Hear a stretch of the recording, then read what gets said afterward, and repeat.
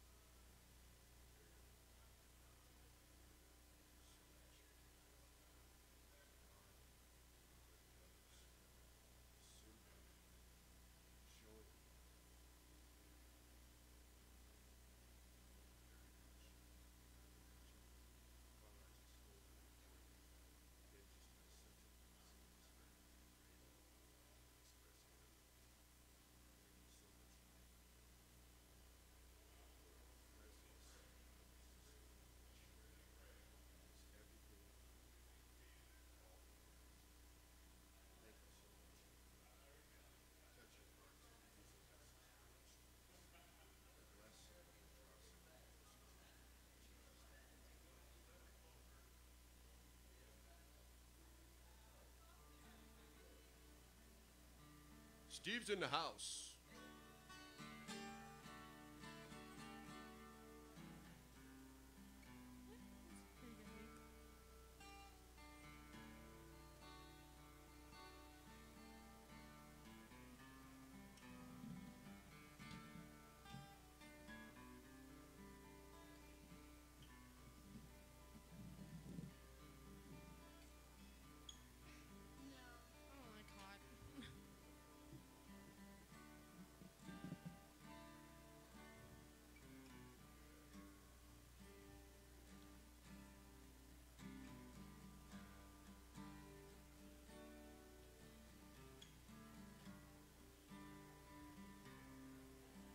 Nancy's in the house.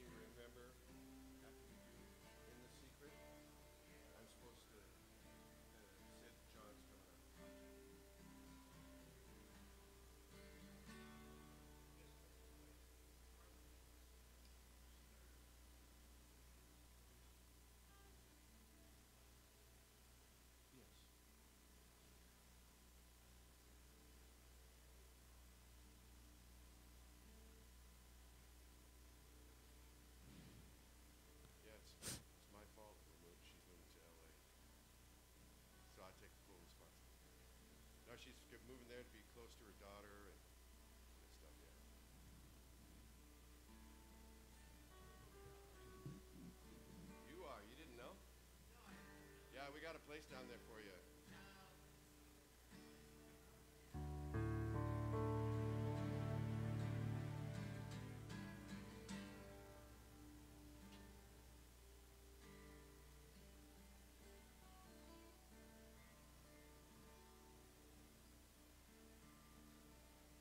Just in case you're all wondering, we're going to just take a couple more minutes, hoping that Michael Jordan's going to show up. We we invited him this morning, so we're just to make sure we're not.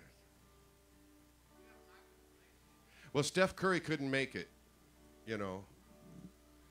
So we called Michael. He's going to try. Michael Jordan, not you. Michael Jordan, man. Yeah, sure. Jump right in there.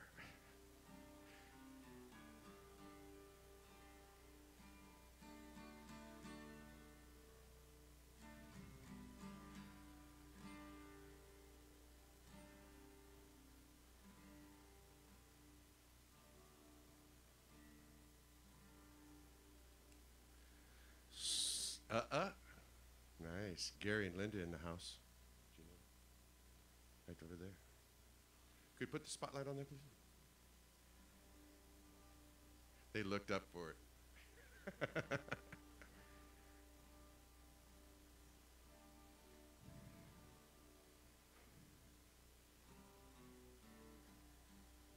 So glad you're here this morning. People may still be coming in. That's okay. That's great. We'll go ahead and get going and set the tone and uh, just have a couple extra minutes then to enjoy the presence of the Lord and worship.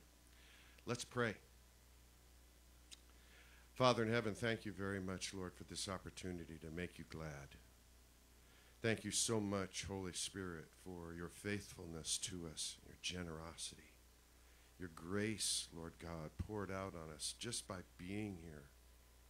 Father, we thank you for every soul this morning. Lord, thank you for every soul. You know who they are, Lord. Those who serve you behind the scenes and up in front, all around, Lord, you know. Father God, we just thank you for how you teach us in your word that you notice and you see when we serve you and when we don't. Lord, thank you for those who are here this morning serving you. Father, we just praise you and thank you. Bring honor to your name this morning. by bowing down in our spirits. And so each of us, in our own way, we just do that to you, Lord. You deserve it. And we're so glad to do it. So, Lord, we just bow down now. We worship you. Our souls bow down, Father God.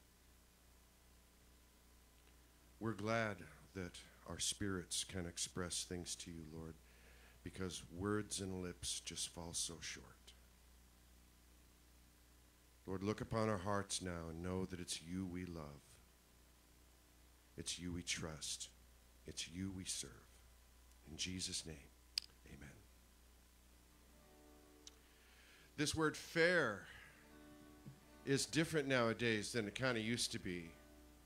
The fair haired maiden, remember those terms? And uh, fair, fair now is about justice or, you know, things being even. Or if you say, oh, that's fair, it's like, yeah, it's okay, you know, it's fair. Well, this hymn is about the fairest one of all, fairest Lord Jesus. I just invite you to expand your view of this and sing this to him uh, in that way that he's this is about him being more beautiful and more glorious and more lovely and more amazing than anything. I just love this hymn okay? So feel free sing it to him.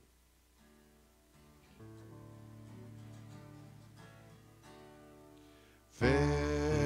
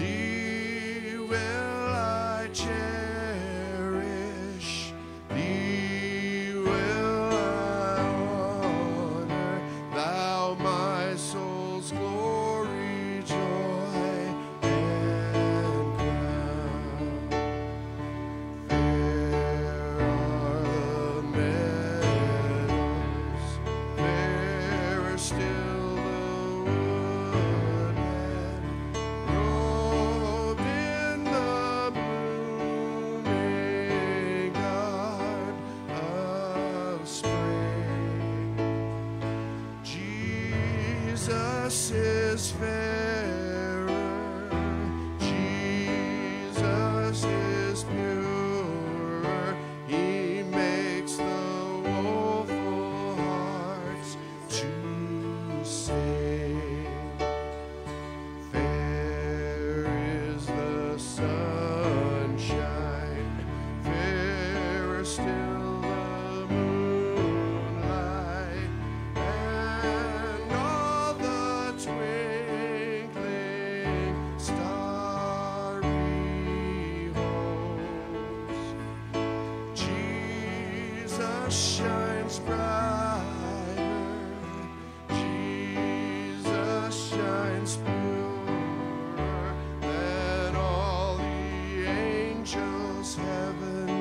heaven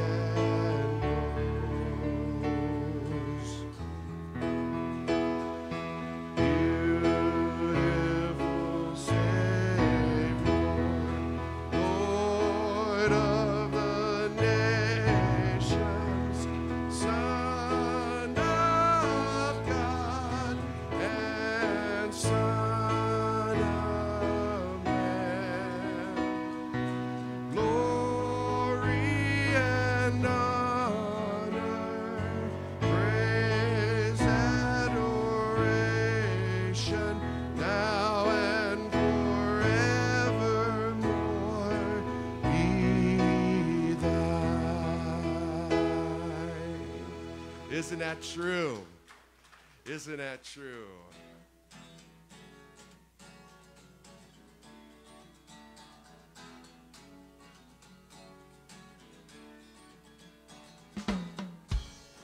Lord of all creation,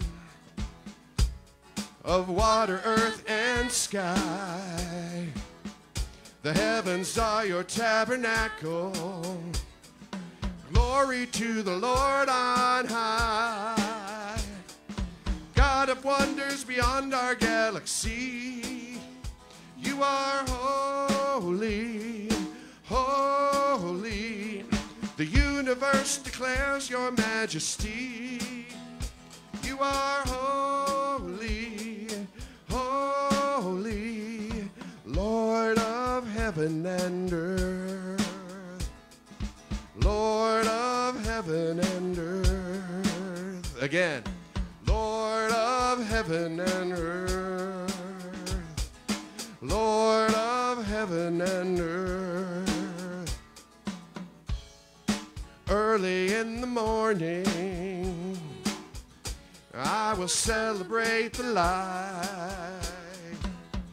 When I stumble in the darkness, I will call your name by night.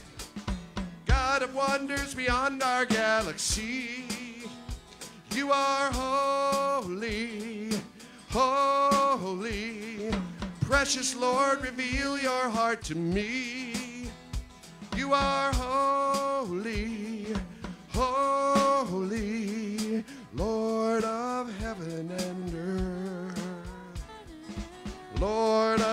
heaven and earth. Lord of heaven and earth. Lord of heaven and God of wonders. God of wonders beyond our galaxy. You are holy, holy.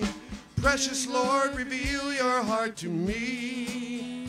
You are holy, holy, Lord of heaven and earth. Yeah, honor him. Lord of heaven and earth. Just proclaim it. Lord of heaven and earth. Lord of heaven and earth.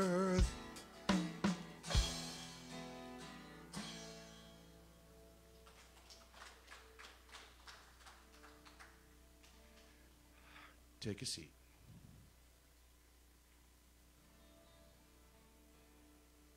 Yeah, yeah, yeah, yeah. Just breathe.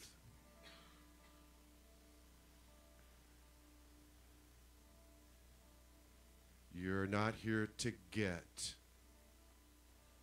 you're here to give.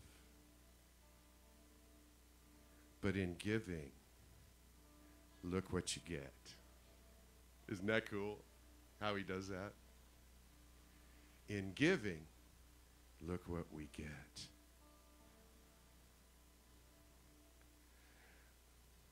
In the secret, in the quiet place,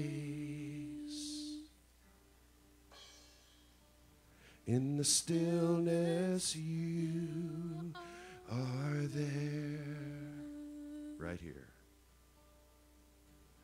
In the secret, in the quiet hour, I wait only for you. Cause I want to know you more. That makes him so glad. I want to know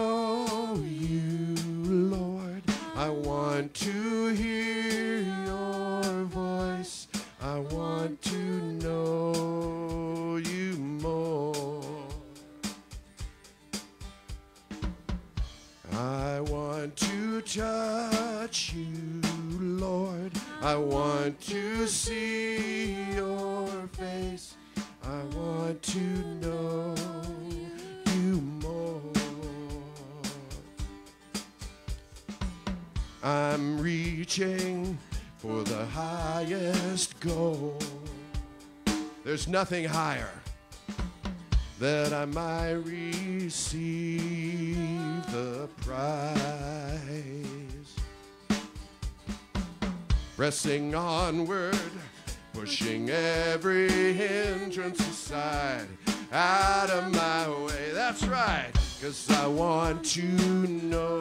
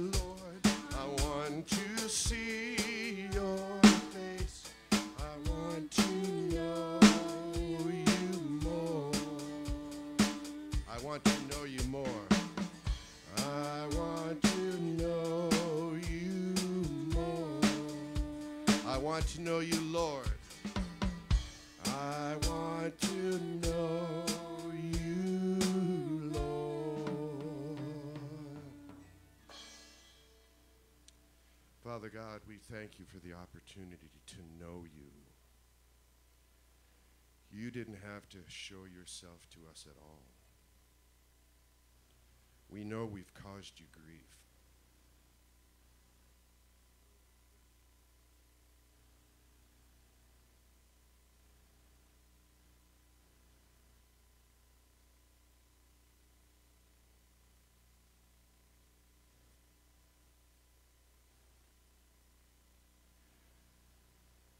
That you would help us to understand this morning that we are forgiven. that you love us, that you've written our names in your Lamb's Book of Life, that we are your children, and you are our Father. We say those words, and our minds just can't get around it.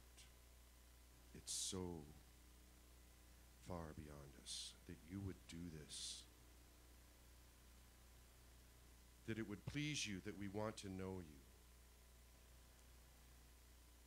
Lord, thank you for the opportunity this morning to bring joy to your heart. We thank you for Pastor Michael and the word he has from you to share with us. Father, thank you again for the amazing experience of being in your presence. It does cause us to love you and trust you and stand amazed. Thank you so much for all you've done for us all this week. Each of us in our own way, we just praise you for those things. We count our blessings. And Lord, we want more. Not because we think we can handle it, because you've hidden anything from us, Lord God, but because we know you want that. So thank you, Father God, even though this is your time and we're bringing gifts to you of our praise and worship this morning. Thank you for how you respond to us. Thank you for the incredible spiritual hugs and the sense of your approval and. Means more to us than anything, Jesus.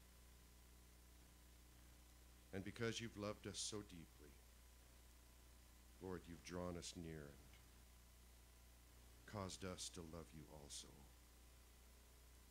We thank you, Lord, that we can obey this first and greatest command to love you, our God, our King, Jesus' name, and all God's people said, Amen. Elder John?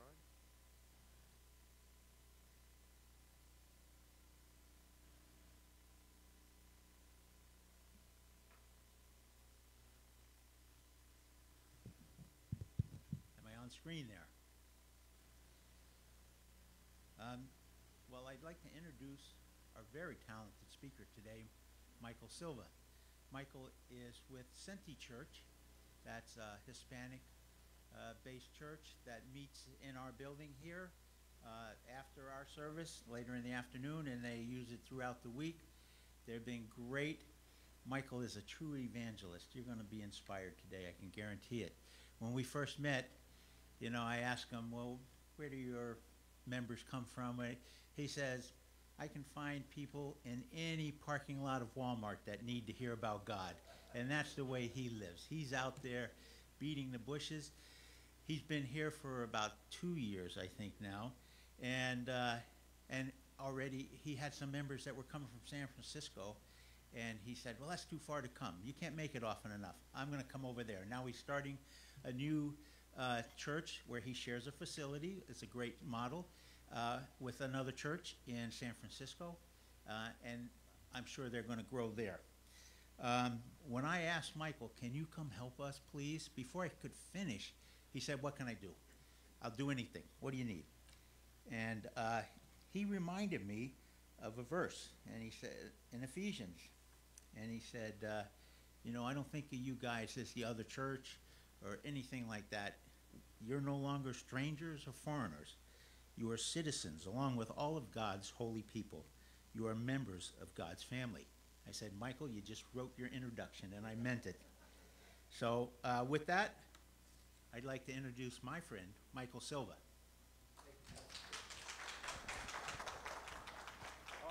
When Michael's still a newlywed, we attended his wedding here at our church. It was beautiful, just a few months ago. What? Six Four- months. Six months. Six months already. Oh wow, John. I mean, all the glory to God. You know, with uh, with that introduction. Um, yeah, this is on, right? Uh, okay. All the glory to the Lord, for that's all we are, instrument for His glory. No man should take His glory, for He doesn't share His glory only with the Son.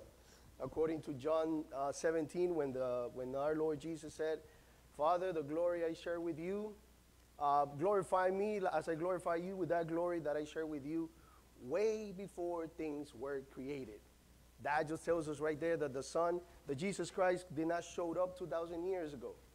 That the Son has been the Son way before you and I were even in our mother's womb. And that's how much He loved us. He loved us so much that He, he loved us in the Son way before things were created, created according to Ephesians chapter 1, verse 3, when Paul says, For these He created us so that we can walk in righteousness in the path that He had created for us. So, my brothers and sisters, this morning, um, I uh, like to make a little introduction of myself. I'm from Nicaragua, Central America.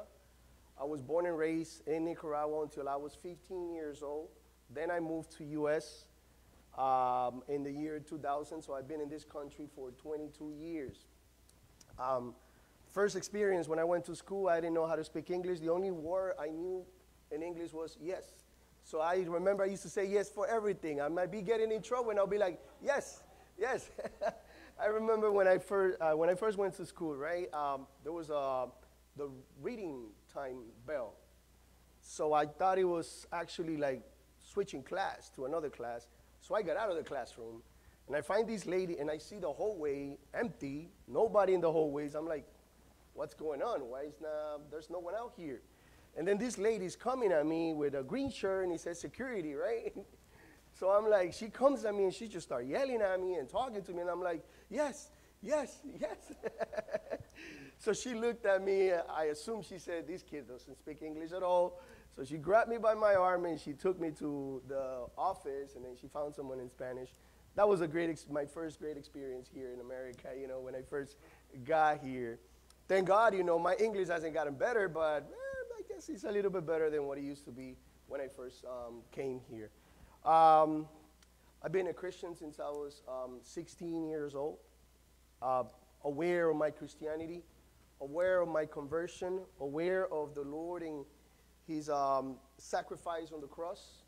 I gave myself, I turned myself to Christ at the age of 16, November, eh, October 28, Saturday at 10 p.m. We were at a camp, youth uh, camp retreat. I remember like if it was my birthday, because that was the, the day I was born in Christ, the most important day of every Christian. We must celebrate and remember that day. For we were dead in our trespasses and our sins, but He gave us life, a new life in Christ. And I delight myself in that. So I've been a Christian since, aware of being a Christian, but I've been to church since I was eight years old. Uh, Hispanic grandmothers, they take you to church whether you want to go or not. So if you want to go, it's better. But if you don't, they give you a little whooping, you know. they pull you by the ear and they take you to church. And I honestly thank God for my grandmother for doing that to me, you know. And, uh, and I became a full-time, uh, I became a local missionary uh, five years ago. I did one year mission here in San Francisco, first time leaving Miami. My entire family is in Miami. And then uh, I, after doing a year here, I went to Pennsylvania and then Trenton, New Jersey, where the Lord gave us the blessing to establish a little church of 20 people. Uh, met Pastor Rupert, um, big, tall Jamaican, American Jamaican pastor, who offered me his house to congregate my people. Uh, and then um, it just, they just called me up here. They needed a pastor here for Centi Church. And I've been here for two and a half year in San Francisco. The Lord blessed me a lot with a beautiful wife. Um, I apolo- she apologizes for not coming this morning. She didn't wake up, uh, you know, uh, in good conditions. She's fine, but it's one of those days, you know. so, so she was a little bit overwhelmed. She's been working 12 hours a week, a day. So I told her to stay home and rest. Maybe next time she'll come and join us. Um, and, and it's been a great experience sharing the facility with you guys, our brothers in Christ. And, um, and I know you try to communicate with some of the members of my congregation. And some of them speak English, some of them don't. But the beautiful thing is that we try to engage the love in Christ we have as one family. Uh, Rob, the last song he mentioned, he said, uh, well, when he finished the song and he was praying, he said, What a beautiful experience. What a gift to be in his presence. That is the most beautiful gift we could ever have as, as, as human beings. Anybody could buy you, woman, anybody, your husband could buy you the biggest and most expensive diamond.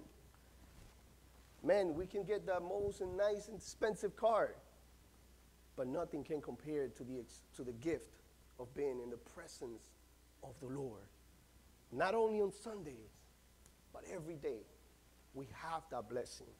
And I know sometimes we get caught up in the everyday routine, and sometimes we forget to be in the presence of the Lord, but there is the Holy Spirit reminding us to go back to His presence. This is why it's so important to have the Holy Spirit in us. If you live in Christianity on your own terms, in your own strength, in your own belief, then you're not living the Christianity that God wants us to live. Because we don't live this by the flesh, it's by the power of God through the Holy Spirit. And it's the Holy Spirit that brings us to the presence of the Lord. And today, today, I want to talk about uh, one of my favorite characters in the Bible besides Jesus. Uh, I have many characters in the Bible that I like a lot, but um, this, this one in particular, I'm pretty sure you can relate to it as I can relate to him a lot. And that's King David.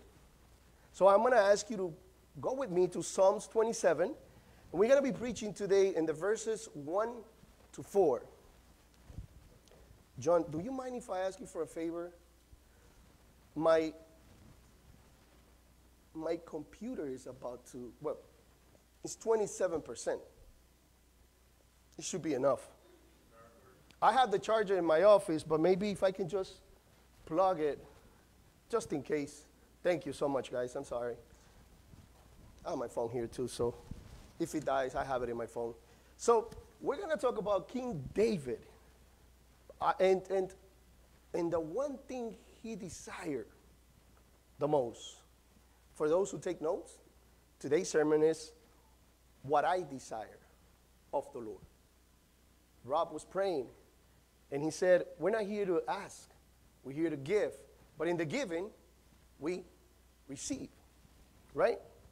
So it's, it's, it's, it's like if we were connected, but that just tells you, you know, that we are, and what John was saying, one spirit. So I'm going to ask you, if you take notes, like I said, what is the one thing that you desire of the Lord? What's the one thing that you desire of Him? Give me one second. I'm going to take this jacket off because I don't know if it's you guys or me I'm too nervous. but it's hot up here. I think I'm nervous, but she's saying it's hot, so, so we're all nervous here today. okay, so read with me uh, Psalms 27, verses 1 to 4. says, the word of God says like this The Lord is my light and my salvation. Whom shall I fear? The Lord is the strength of my life. Whom shall I be afraid? When the wicked, even my enemies and foes, came upon me to eat up my flesh, these enemies were not playing. But he was too exaggerated, but it was literally like that. They stumbled and fell. Though an, an host should encamp against me, my heart should not fear. Though war shall rise against me, in this will I be confident. On one thing I have desire of the Lord, that will I seek after, that I may dwell in the house of the Lord all the days of my life, to behold the beauty of the Lord and to inquire. Oh, thank you, Barry. And to inquire in his temple. We find all these things in these four verses, but we're going to be talking about verse 4. That's, that's, the, that's the main meal we're going to talk about today. Let's consider something about these men. The most powerful men of the most powerful nation in those times, right? Confess three amazing things and powerful it makes three, of, three amazing things and powerful statements in his life. And that you and I, as believers, we should, they should be also amazing and powerful statements in our faith and Christian life. One, he says, The Lord is my light. The Lord is my salvation. And the Lord is my strength. Everything that every human being needs. Believer or non believer. Most believers, we need this. Because the non believer rejects it, sadly. But this is what every human being needs light, so that he can walk in the righteous path. Salvation, so that when death comes upon us, who can save us from it? The Lord. And strength, so that we can do, deal with the afflictions of life. Because even though we're Christians, we still go through things. We still get sick. We still get sad. We still get, you know, afflicted by everything that goes around us. That's why we need the Lord so much. And these men, these men understood this really well. That's why I'm, I'm calling these three things powerful statements in his life about who God was for him in this psalm. The Lord is his light, the Lord is his salvation and strength. Everything, like I was telling you, that every human being, and especially Christians, needs in this life, and not only in this life, in the eternal life. If we don't have, yes? Yeah. Yeah. Sorry for the Spanish, no. That's why you have to read the, the text, so you could understand what I'm saying. But um, not only for this life, but for the eternal life. If we don't have his salvation, we don't have eternal life. So we need him. We need the Lord. And David understood this. He knew in his heart who God was in his life. And in this was the main reason why this man lived confident. He said, I am confident in the Lord. Question to you and to me Are we confident in the Lord? Especially when we went through COVID and it was really bad. Who were you confident on? Who were you resting on? Who were we resting on? On the government? On the doctors? On society? They were only doing what they were capable to do. Exactly. Anybody died from COVID from your congregation? Nobody died from COVID from our congregation. They got sick. We got sick. I got sick in December 2019, really bad, with all the symptoms. And I didn't know it was COVID. But who protected me? Who was the light? Who was the salvation? Who was the strength? God Himself, the Lord. So David did not put his trust in his army, which it was big. If you read, I think it's Kings, where he actually counts the army he had. It was a big army he had. He didn't put his trust in his army. He didn't put his trust in his gold and silver and richness and wealth. And he was wealthy. he, didn't put his, he did not put his trust in his fame and power as a king. He had all these things. He could, he could possibly, he could easily, easily depend on his army to defend him against his enemies. He could easily have anything in the world with all his wealth. And he could be, he easily do whatever he wanted, for he was king. But verse 4, what does he say?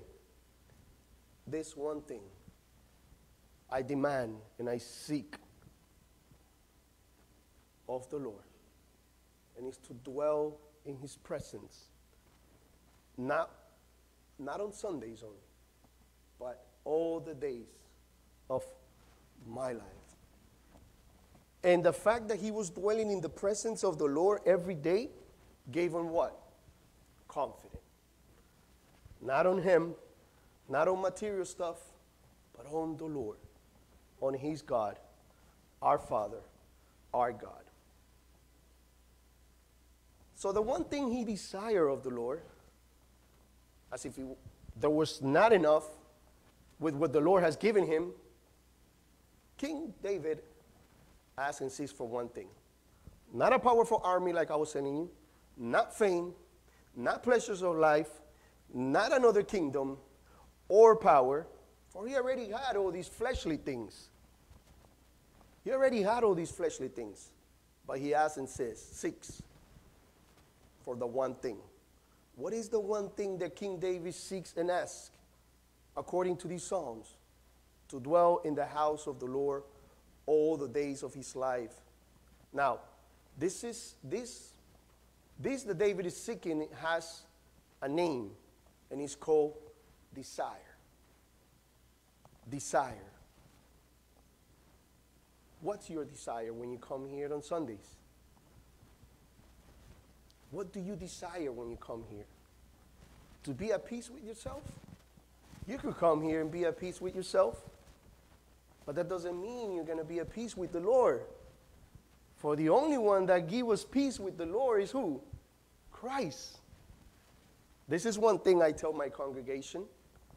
Uh, well, it's the congregation of the Lord, but I'm his um, uh, administrator, right? Uh, I said, listen, coming to a Christian church does not make you a Christian. What makes you a Christian is being born of the Lord in the Spirit and walking by the Spirit as a Christian, right? So, a lot of people can come to church and be in peace with themselves. Okay, I'm good. I already did my part. So I'm okay with the Lord. I went to church. Right? That's it. And they walk out of this place and their lives continues the same. There's no change. There's nothing going on in their lives. But the one that has the Spirit, the Spirit Himself, is going to drag you to the presence not only on Sundays, but Monday, but Tuesday, but Wednesday, but Thursday, Friday, Saturday, and then you just can't wait to be here again on Sunday and shout and praise the Lord with Rob and his wife and singing and praising as a congregation so that we can have communion with the Lord. Right? David had a desire in his heart. His son had a desire in his heart, Solomon. Name me one man in the Bible that God's God asked him, Ask me anything you want, and I'll give you whatever you want. Name me one guy besides Solomon. So far, I have not found him. You know? If you do, let me know so I can just go in and read about it. And what Solomon asked wealth, kingdom, power? No. Two things wisdom and discernment so that I can lead your people. And the Lord was pleased with this request. But where did Solomon learn this from? From who did he learn it? His father, David. For he not only said, I desire the Lord, because the verse says, This thing I desire of the Lord and seek. So there's the desire, and there's also, also what? The action. Listen, you and me as a Christian, the Lord, through the Holy Spirit, puts the desire in our hearts to seek Him, to pray, to go on our knees and pray. Now, the desire is there. Now we must take, take action and do our part. And David was doing that. Are we doing that? We have to do that. If you really want to enjoy the Christian life and always fulfillment, you enjoy it there in the presence of the Lord. Now, that desire reflects to dwell in the house of the Lord all the days of his life. This desire in David's heart reflects the need in his life for God's presence. How much do you need the presence of the Lord in your life? You don't need to tell me. These are, you know, questions so that we can answer to ourselves and, and see in our hearts how much are we desiring the Lord. Do you ever wake up in the morning, like at 1.30 in the morning, you open up your eyes and you feel the desire to go and pray, even if it's only for five, ten minutes? That hasn't happened to you, it's okay, don't feel bad. Maybe it only happens to us, you know, uh, pastors or some, that we have to pray for the church and stuff like that. But it happened a lot. 4.30 in the morning, 3.30 in the morning. And I got to be honest with you, most of the time, out of five times, three times or four times, I, am defeated by my tire. I'm tired, I'm sleepy, that bed is warm, let me stay here next to my wife, you know, and I stay there. But some other times, I go and do what I have to do. And it's not that the church needed my prayer, it's that the Lord desired me like I desire Him. It's, it's, it's like, it's like when, when, I'm, when, I'm, when I'm with my wife, I desire her presence. When she goes away from work, for work, she works at Daly City. And it's 2 in the afternoon, and I'm like, are you, don't, don't leave work late, please. Can you leave at 5? Because she usually leaves at 5.30, sometimes at 6. So I'm like, please just come home, you know, be home at 6.30, don't stay late, and this and that. And she's like, oh, I got a lot of work to do. I'm like, just do your best because my heart is desiring what? Her presence. I want to see her. I want to touch her. I want to hear her voice. I want to see her, you know, uh, sitting down on the table with me. Listen, now that I'm married, I understand more the, the, the intimacy with the Lord. Just like I desire my wife, we have to desire the Lord just like that. I desire you, Lord, this morning. You are the desire of my heart, your presence. You can give me all the things you want, Lord. And He will. He gives us all the things we need, not the things we want. But if you're going to ask the Lord for something, ask Him for this desire for His presence. Accompany, accompany me uh, to Colossians 3, verses 1 and 2.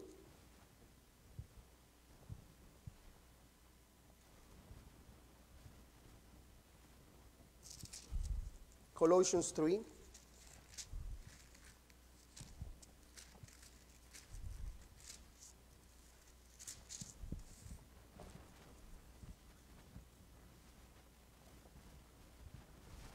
Therefore, if you have been raised with Christ, keep seeking the things that are above, where Christ is, seated at the right hand of God. Set your minds on the things that are above, not on the things that are on earth. So, again, Paul is talking about something that David has been talking to us about, and it's called seek. Right? Now, who's the only one that can actually seek the things from above, according to this verse? The ones that have been raised with Christ. Because one that hasn't been born again cannot seek the things of above. Because the things of above are like, I don't see them, I don't touch them, I don't understand them. But those who have been raised in Christ have been raised in who? In the Holy Spirit of God. So the Holy Spirit of God comes from the Father. And if we are of the Father, we're going to seek the things of what? Above. And our minds are going to be set on one thing the things that are above. This doesn't mean that you're not going to be worried about your mortgage. this doesn't mean you're not going to be worried about, you know, your car payment.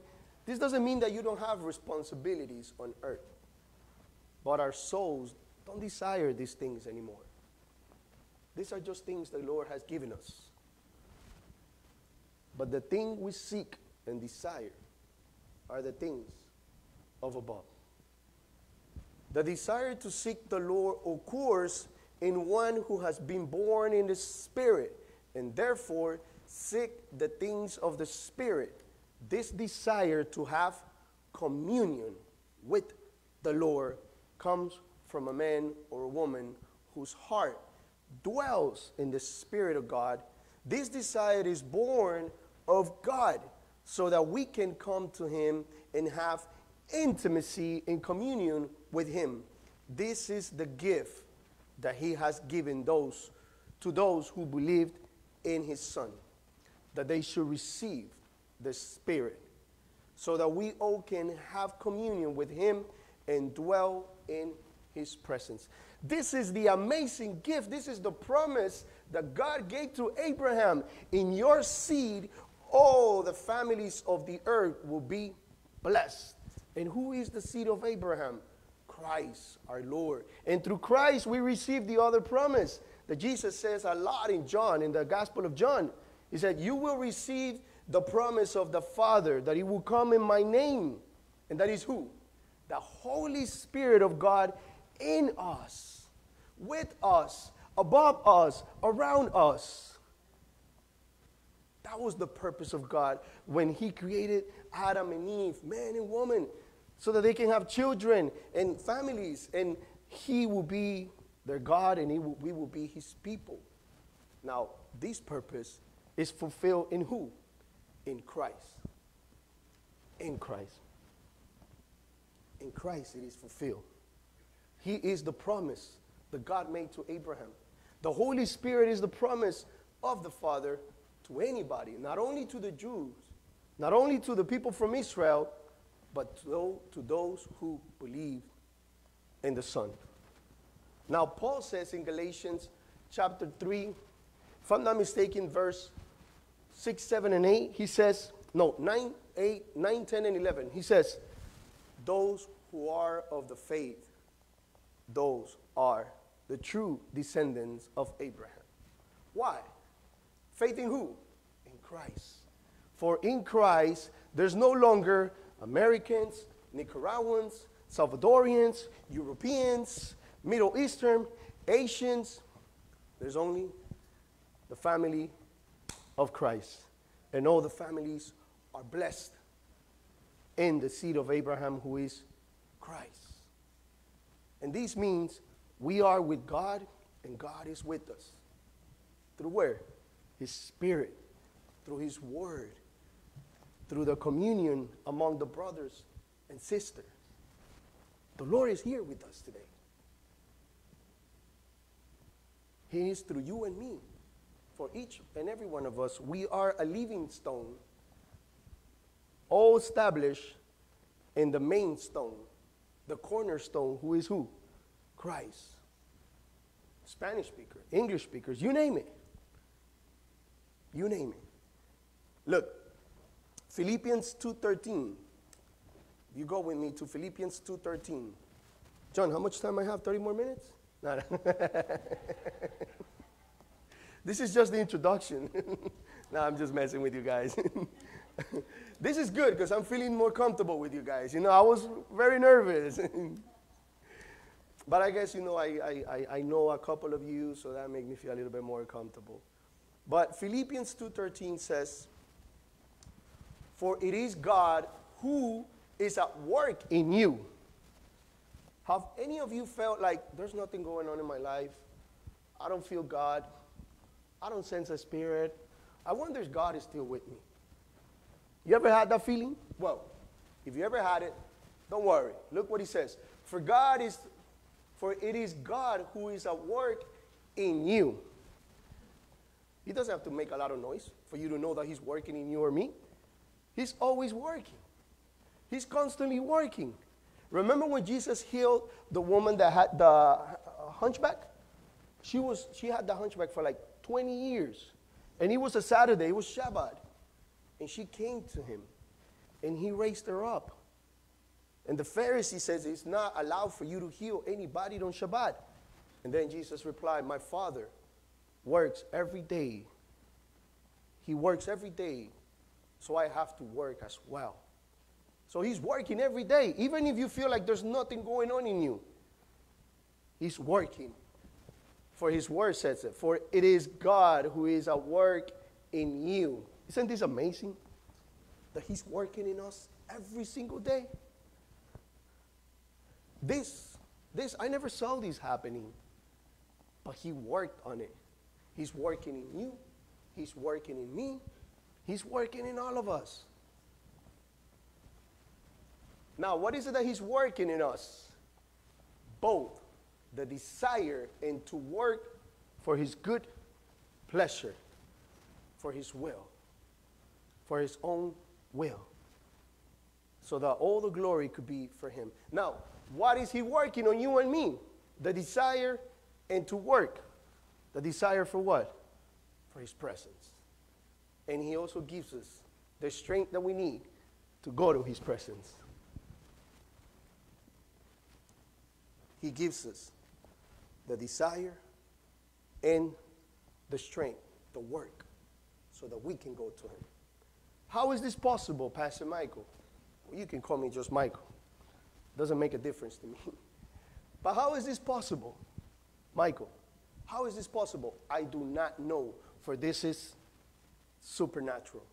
For this is of the Spirit. If you try to find an explanation to it, it's only the work of God in the believer.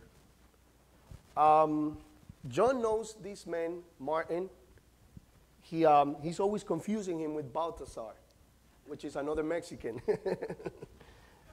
Martin was a bum. He was homeless in the streets for five years. He dig a hole and he slept on that hole. He will fight with demons and the devil, and he will walk for hours. He was gone in his mind.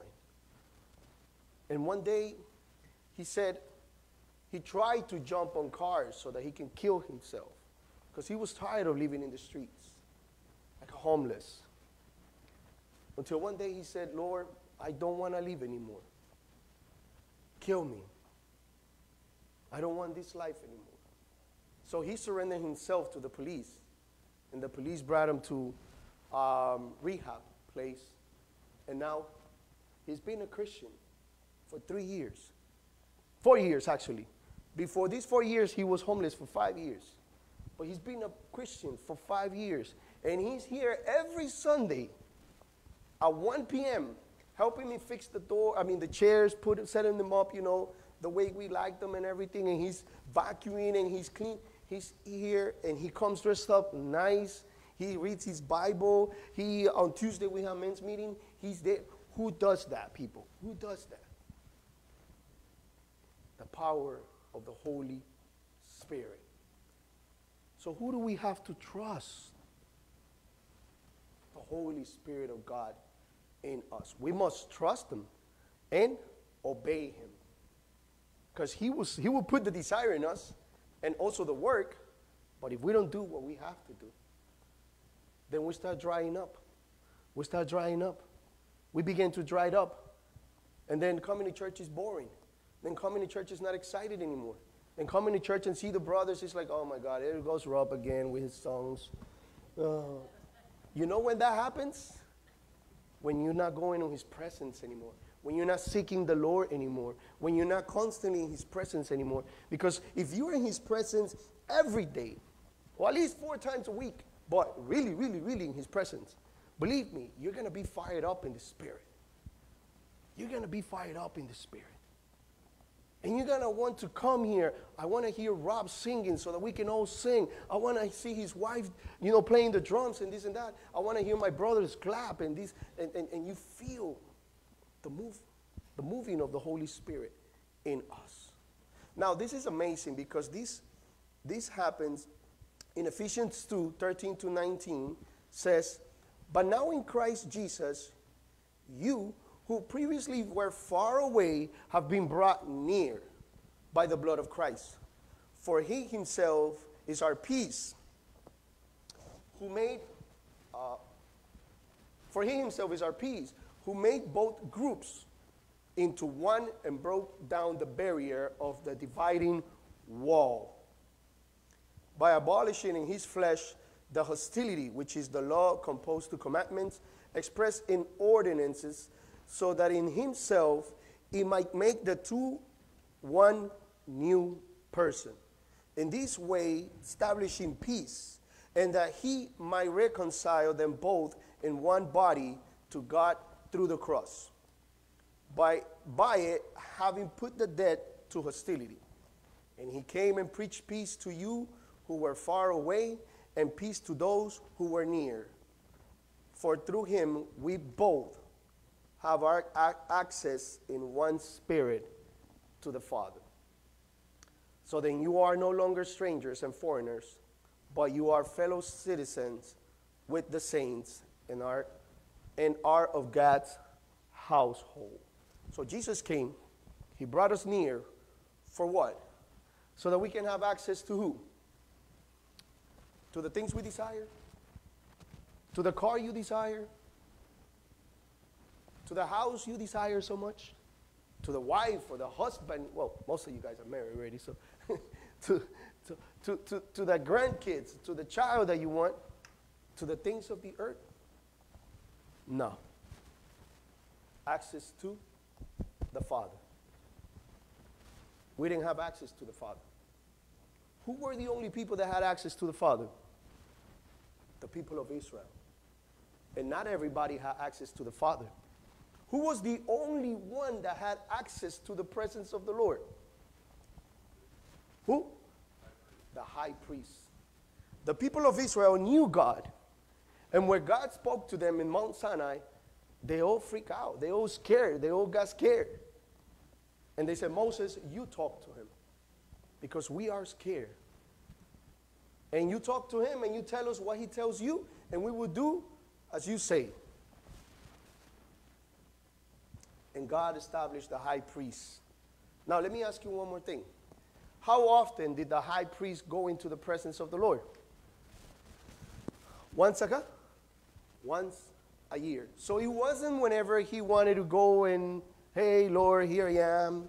I present myself in front of you. No. It was once a year whenever the Lord, when the Lord had established that day for the high priest to present himself. Now, remember what happened to the sons of Aaron when they presented uh, a strange fire in front of the Lord? They walked into the presence of the Lord. What happened to them? They die right away. Because the Lord didn't ask them.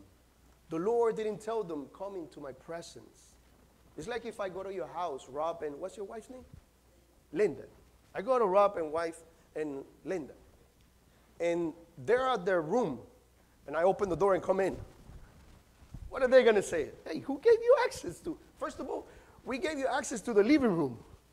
Now you're in our bedroom? Nobody gave you access to that. Rob is not going to take me out nicely.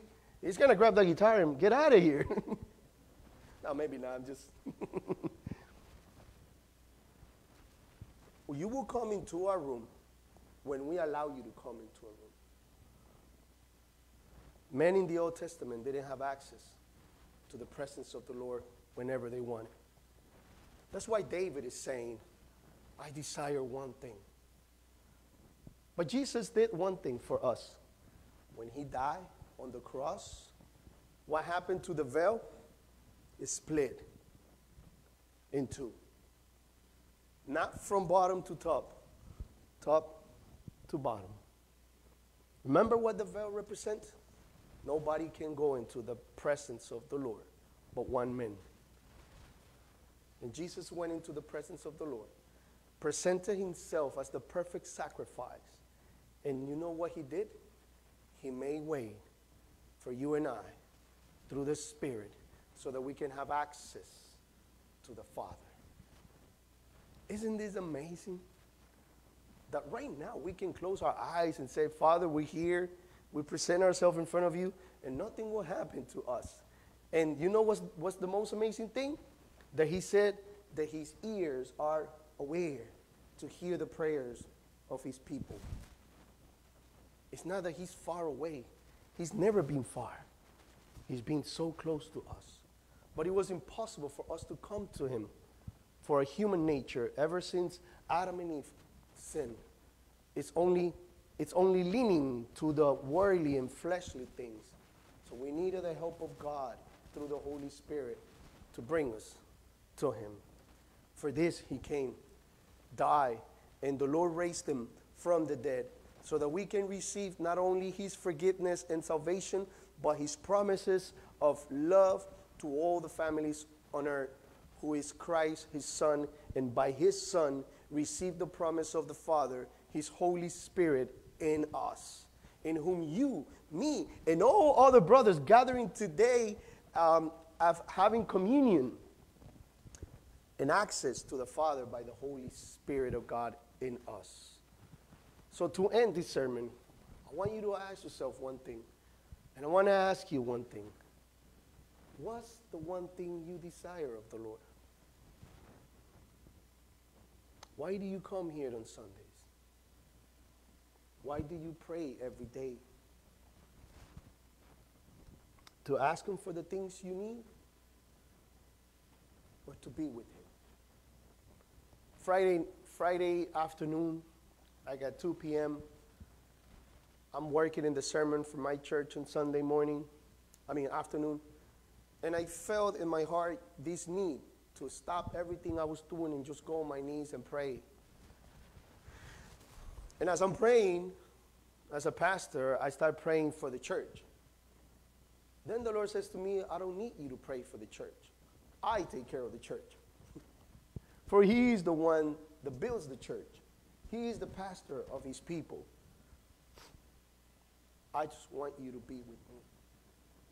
And I broke down and I started just praising him and worshiping and, and just pouring out my heart and saying, Lord, I need you. You, you. You're not a, you're more than a desire. You are a need of my heart my mind, my soul, my spirit. I need you in this life so I can meet you in the life after death. And I had this amazing time with him. And believe me, I was fighting because I wanted to pray for my church. I wanted to pray for the congregation. I wanted to pray for my brothers and sisters. And he said, Don't worry about them. I take care of them. Just talk to me. And it was amazing when we come to Him, don't ask for anything, for He knows the things we need. Instead, if we're going to ask for something, let's ask for the Spirit, to, to dwell in the Spirit, to dwell in His presence. So I ask you one more thing, and one last time, I'm sorry. What's the one thing? What is your desire of the Lord? Just like King David, the Lord is every believer's light and salvation and strength. He has defeated our enemies, so don't worry about your enemies like King David did. Don't worry about your enemy. God defeated King David's enemies. The Lord defeated the sin that condemned us. He delivered us from the kingdom of darkness. He defeated the world and its afflictions and persecution because of the faith in Christ And the Lord also has defeated our most fearful enemy, death. All this was provided in Christ. But if it was not enough, He also provided us the Holy Spirit so that in His Spirit we can come to Him and desire His presence. Do not worry about your enemies. And your enemy is not your neighbor that you don't like. Our enemies was sin, dead, the devil himself and all his demons, and the world and his afflictions. And Christ defeated them all by dying on the cross. That's how strong our God is. So do not worry about them, but worry about being in his presence every single day. So let us desire the Lord. Let us desire the Lord to work in our hearts, just as he did in David's heart. Let us come to him with a humble heart. Let us seek his presence and dwell in his everlasting love. Let us be guided by the Holy Spirit through prayer into intimacy with our Father. Let us be moved by the Holy Spirit through reading the Word, hearing the Word, so that we know Him more. For this we are called. For this is the eternal life, Jesus said in John 17 3. This is the eternal life, so that they might know you as the only true God and Jesus Christ, whom you sent. That is the purpose of our life. Let the Lord our God and Father be the one thing we desire the most. For these we were chosen and brought near, so that we can all be with Him all the days of our lives. Amen? Let's pray.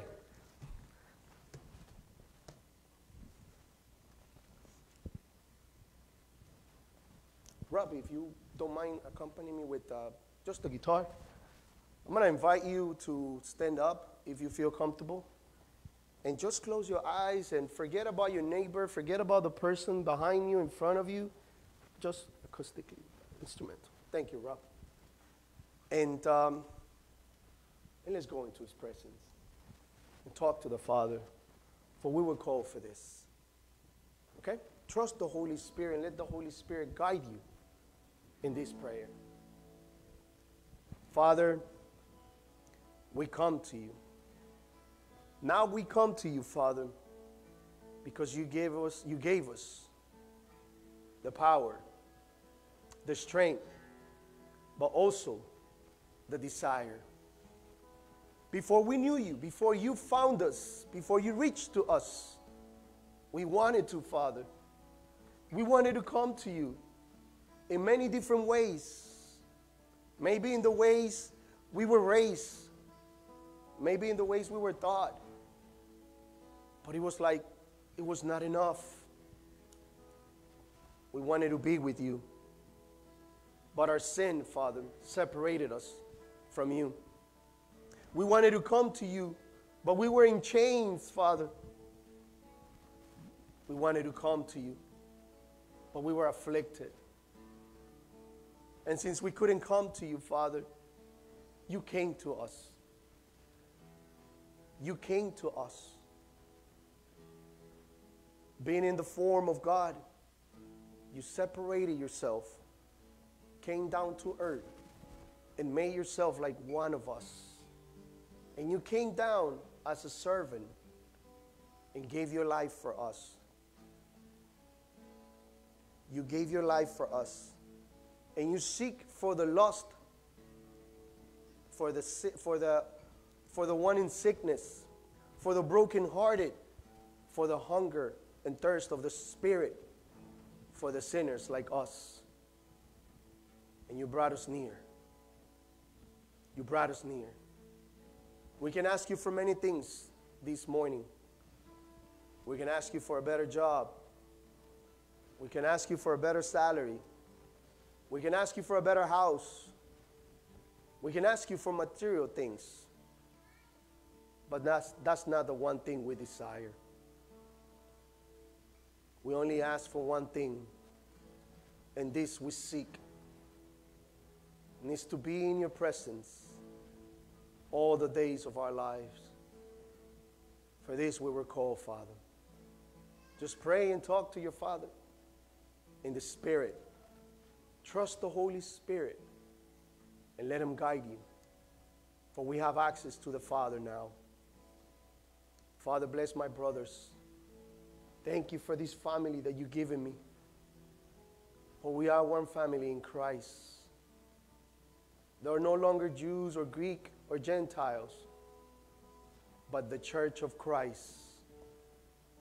Pray for your brother, the one next to you. Pray for your wives. Pray for your husbands. Pray for your kids. Pray for your families. Bless the families with your presence, Father. Thank you for this moment. Thank you for this time. Let us meditate in your word and work the desire in us to seek your presence all the days of our life, like King David did. He desired one thing, and it's to be with you. In the name of your Son, Jesus Christ, our Lord and Savior, we pray and we thank you, Father.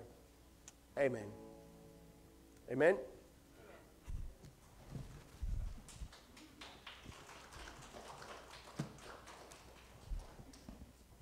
Thank you, Rob.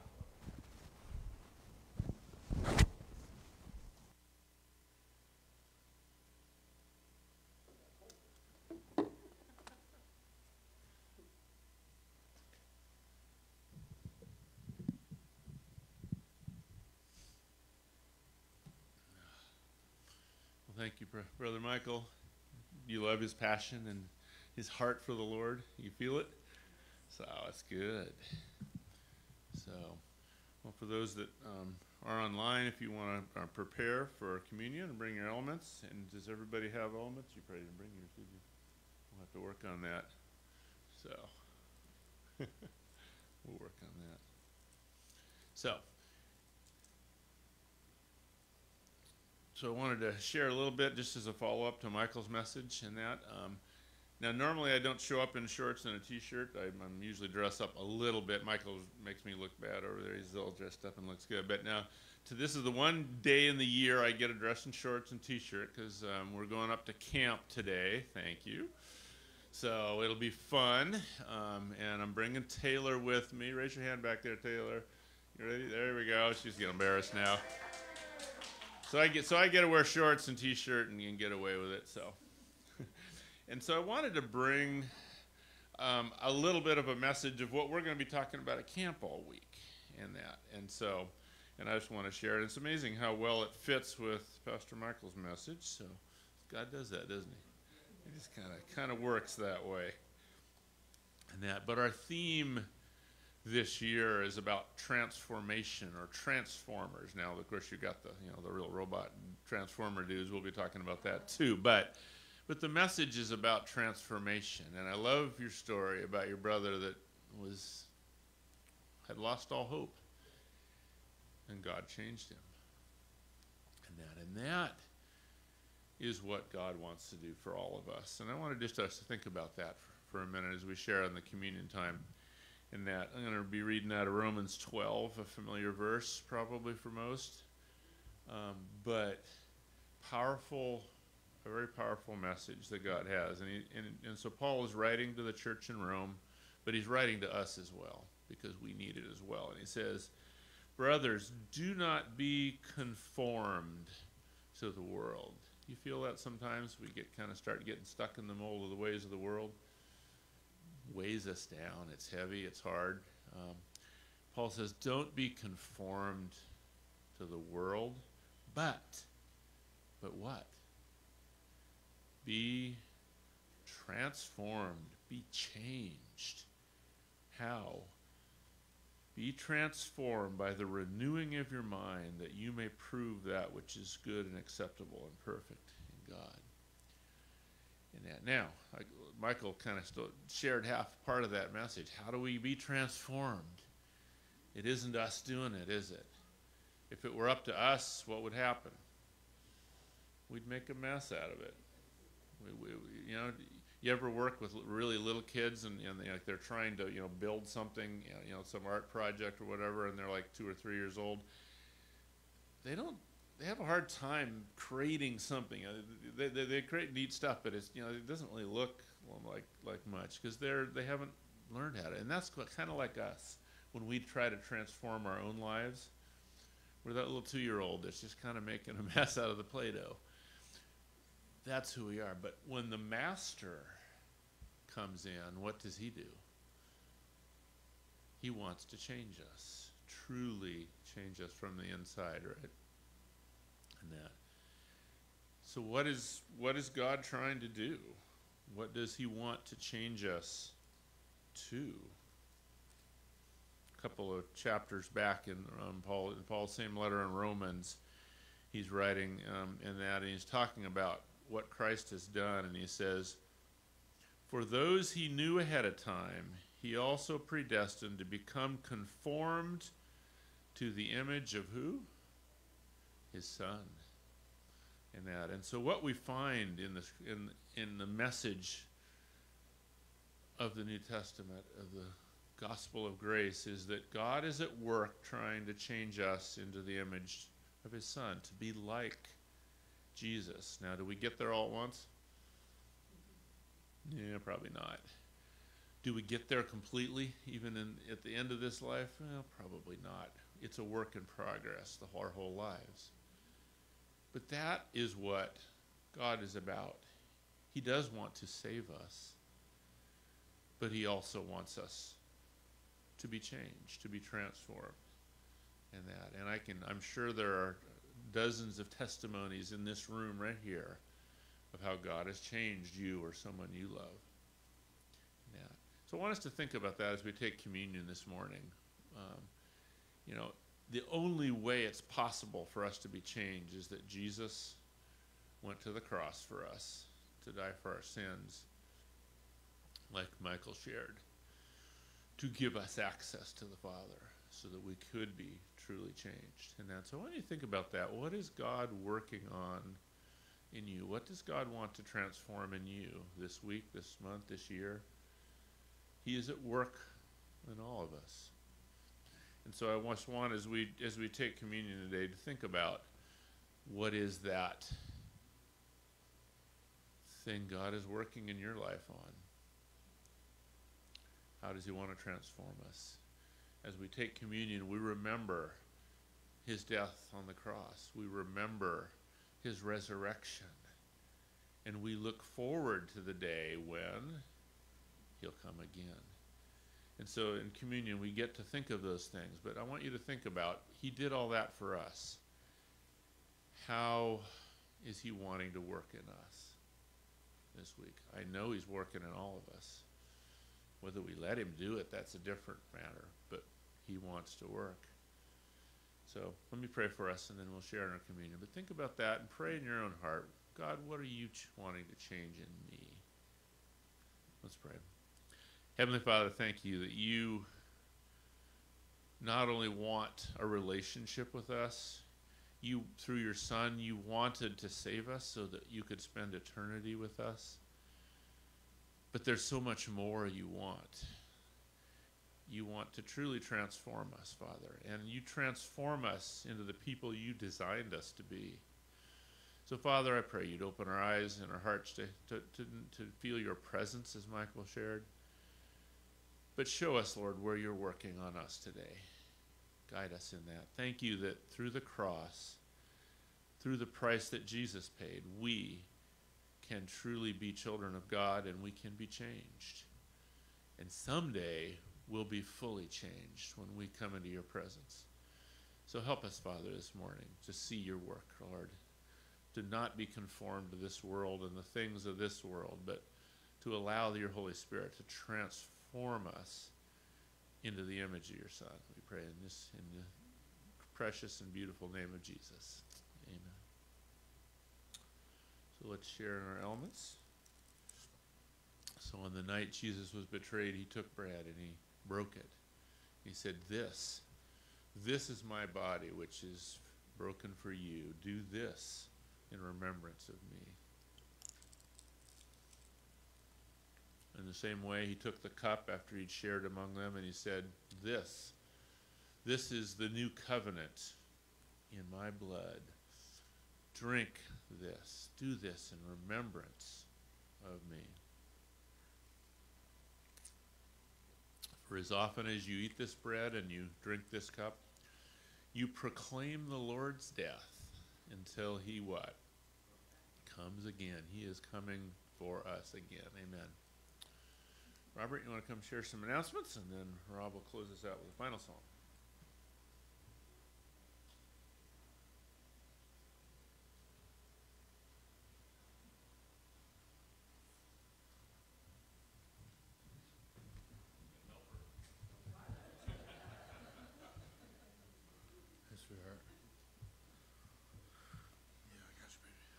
So I want to thank Michael, that was very nice. Thank you for being part of this family. So, um, I want to um, pray for Chuck Carnes. He's still in John Muir Hospital, recovering from gallbladder surgery. He's struggling with an infection, and he's also having lung issues. And I also want to pray for his family, for the comfort and, and for energy because they're dealing with him. And it's, you know, if you've ever had a sick relative, it's never easy on anybody. It's it's rough. Um, I want to pray for John and Delia Ornelius. They're online worshipers on the Zoom in Zoom uh, uh, Wednesdays. They're having pray for uh, breathing ish difficulties caused by the recent hold on, Don, by the recent local fires. And we're very thankful. We have been praying for Fred and his COVID, and he's we're blessed to have Fred with us. It's good to see you, Fred. Thank you, Robert. And we want to pray for Michael Bellecci. Continue to pray because he's having throat issues and muscle weakness. Um, so pray, keep praying for Michael. Our pray that our God is preparing us to result to receive the pastor He wants to lead our church family. He's equipping, and He is equipping that pastor to serve here at FCC First Christian Church. That God is that God is blessing all the pastors that are supposed supporting our leaders and church family through sermons on Sunday mornings, support coaching of our existing leadership team, and praying for our church that we receive much needed support. And we so Wednesday nights we do have the sermon 2.0. Barry usually runs it, but he's got all the other stuff going on. We'll talk about that later. And um, this week on Sunday on Wednesday Wednesdays evening at seven, it's gonna be hosted by John, which he did a great. This last week, John hosted it, and it was a great Bible study. So that's very much recommended. If you want to get involved with that, you need to talk to John, Barry, or myself. We'll get you hooked up. So, our upcoming preaching, we're, we're, we're very blessed. On uh, Father's Day, we're going to be having Rob Baker. He's going to he's going to be bringing us a great message. And if you've been waiting to hear Rob speak, again, this is going to be your week. But um, right after that, this is a big, a big event we have for our church on July 3rd. We're going to have a have a party, a relaxed hol- It's a holiday party. We're going to have a hot dog. We're going to provide hot dogs, hamburgers in the back, and barbecue 'em up. And then um, we're inviting anyone that wants to come. Bring a pot if you want to bring a potluck item, something you want to share. That's all good. And Centi Church is very welcome too. It's an open invitation. In the backyard after after service. Um, and also besides this that on April third, April third we are or not April third, July third. Where am I? July third. I, I, said that on purpose. no, on July third, we're also gonna be having David Gleason.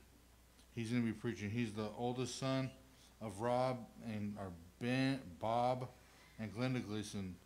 He's been we. It's been 20 years since we heard David preach. You would not want to miss this one. So we're gonna have a uh, pre him preaching. Yeah, gotta uh, everything's so much easier when you got to keep growing your arm. So we would like to reissue the. So if anybody wants any information on this, you can contact me or uh, if all my I'm gonna write down all my information. We're gonna be starting a new contact list because some of us aren't getting. Come on, honey. some of us aren't getting like calls from people, or we can't get a hold of people we see on Sundays. So we want to stay in contact with people. Stay in contact with people. We gotta uh, make a new contact list because so we can put our phone numbers, our emails. We can text each other throughout the week or whatever you want to do. If you want to be have any information, right? Talk to John Leary, Elder John Leary, or myself, or Barry if he's around.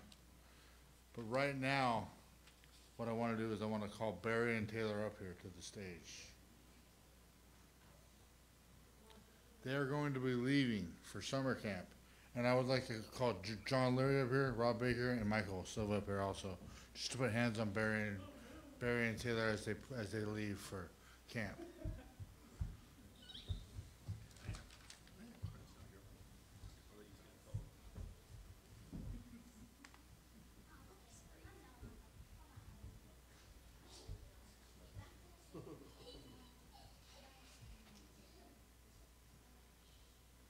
Dear Lord, humbly we come before you, Lord, thankful for our church family and for the support that you give us. We do desire you, Lord, and we want, we know that you're in our hearts and you're all around us. We hope that you will keep Taylor and Barry safe in their travels, Lord, and they have a blessed week, and they learn what you want them to learn, Lord. We know that you're working, we love you.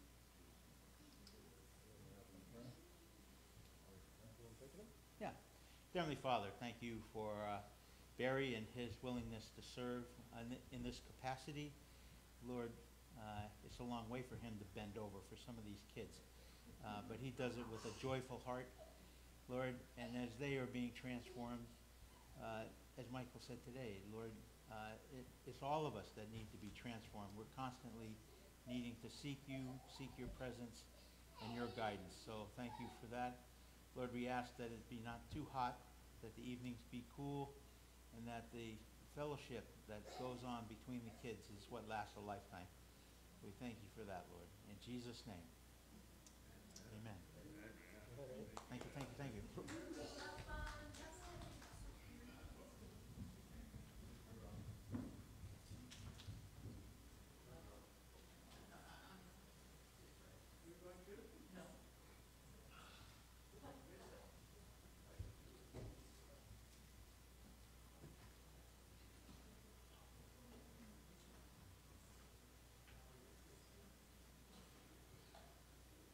I just, I'd just like to make sure everybody knows that while we were praying, Barry was messing around during our prayer time.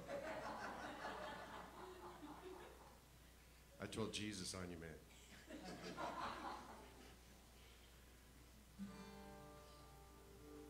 I also remember when I first met Pastor Michael, and I was out painting the curbs, uh, and he came up to me and said, "Excuse me, um, I don't know you. What are you doing?" He was nice though. He says, "Are you the one that's been doing all this painting out here?" I'm like, "Yeah, yeah, yeah. They won't let me come here unless I do something, you know." And then he said, "Well, you know, you got a you, you, you missed a couple of spots over here, and you got some paint on my car, so it's been a real blessing, man." No, he was like, "Why don't you let me know? I'll come and help you paint." I said, "Brother, I think you have enough things to do. I'm doing this so you don't have to." Isn't that cool how the Lord helps us understand that serving Him is such a source of joy? Not, not only for us, I mean, when you do something for God and you feel His pleasure, that's pretty cool experience when you serve Him and involve others, you get the double blessing. I know that Michael and uh, John and Barry and all the leadership here would just love to see this church come under the shadow of the Holy Spirit and receive a double blessing on a regular basis. So part of that is to yield to Him and surrender to Him. So big breath now. Just take a big breath. It's as simple and as profound as that to come to God. It can be as normal and natural as breathing. Take a big breath of Him now and worship.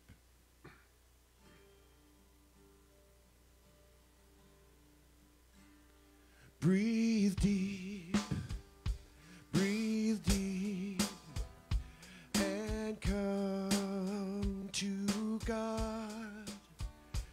Breathe deep.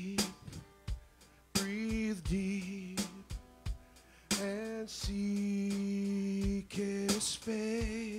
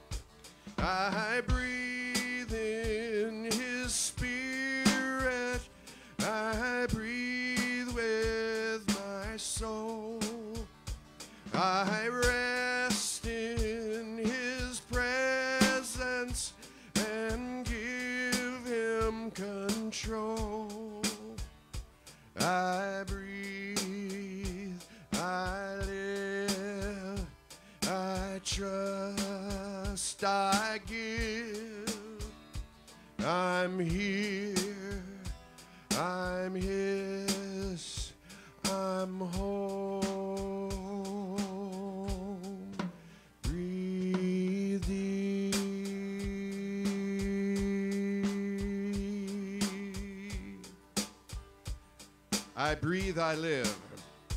I breathe, I live. I trust, I give. I'm here, I'm here.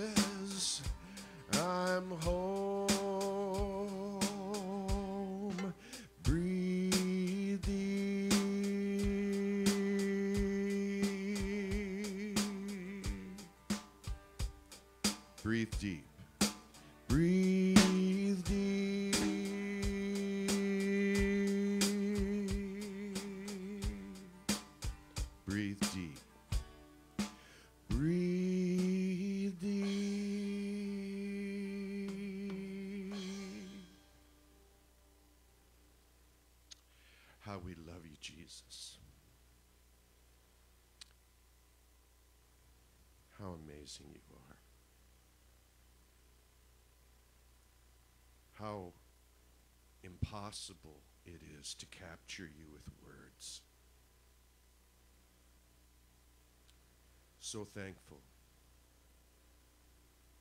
for the effect you have on us, the transforming, fulfill my greatest desire effect. Thank you so much, Jesus. We love you, Lord. We love you. All your people are saying,